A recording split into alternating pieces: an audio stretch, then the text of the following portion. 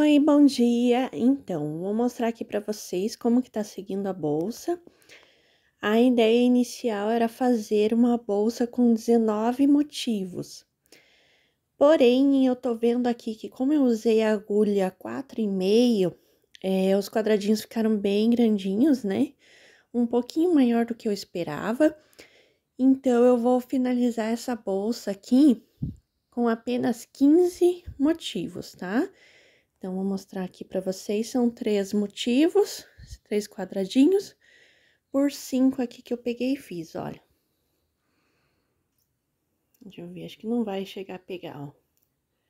Olha aqui como que ficou. Cinco motivinhos.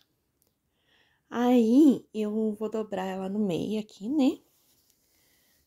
Porque eu tava vendo uma bolsa aqui que eu uso no meu dia a dia e eu achei que ela já ficou um pouquinho grande assim, além do que eu gostaria. Essa bolsa aqui, olha, eu uso no meu dia a dia, vou mostrar pra vocês.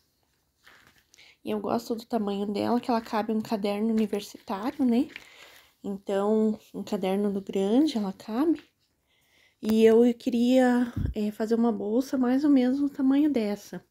E vocês podem ver, olha, que ela já passou um pouquinho do tamanho dessa. Então, para não ficar uma bolsa muito grande, eu vou parar por aqui.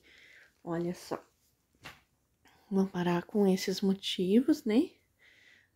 Aí, eu vou fazendo a emenda já direto no crochê, né? Na última carreirinha aqui, eu já vou emendando com ponto baixíssimo. Ó, aqui, ó, por dentro, como é que fica. Vou emendando por, com pontos baixíssimos. Aí, aqui eu vou ter que é, fazer uma emenda na agulha de tapeçaria. Ou eu acho que eu vou fazer mais uma carreirinha aqui a mais é, de pontos altos. Não sei ainda. Aqui, eu, essa bolsa eu vou fazer, inclusive, a alça dela com barbante também, para poder estar tá lavando ela, né? É, na máquina.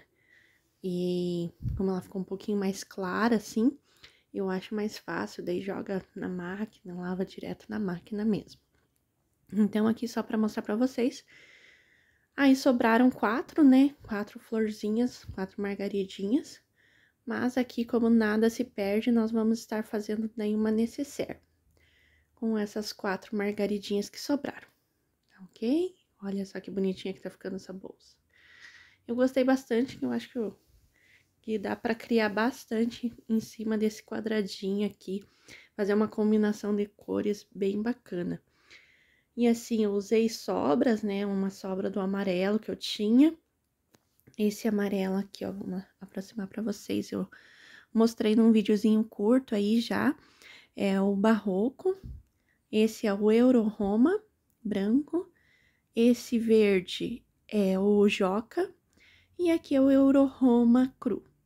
Então, às vezes, você tem bastante sobras de fio aí, dá pra tá variando é, com esse motivo aqui, que eu acho dá pra criar bastante com diferentes cores. É, espero que vocês tenham gostado desse vídeo. Vou finalizar aqui, que é só pra mostrar pra vocês como que tá é, sendo confeccionada essa bolsa aqui de margaridas, tá bom?